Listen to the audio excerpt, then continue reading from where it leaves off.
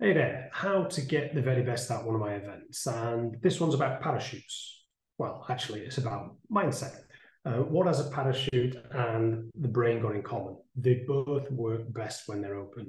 Rich Wainwright here, another insight into how I coach, train, and present.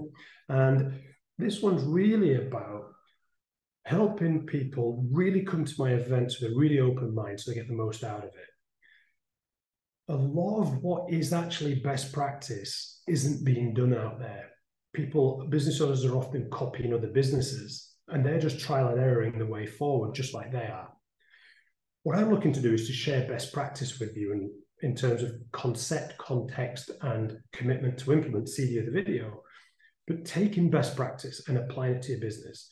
Now, best practice is not always common knowledge or common practice best practice is sometimes counterintuitive. However, I've been doing this since 2008. I've taken these concepts and applied them into hundreds and hundreds and hundreds of businesses. And I've got an ability to help you apply that concept to the context of your particular business and then get you to pick what's going to work best for you as a result.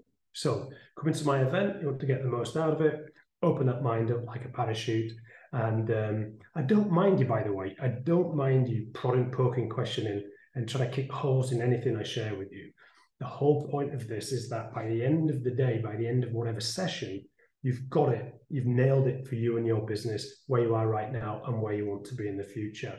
So, healthy discussion, some disagreement, um, I welcome it, just as I welcome your thoughts and comments in the question box below. I look forward to speaking with you soon and, of course, to seeing you at an upcoming event.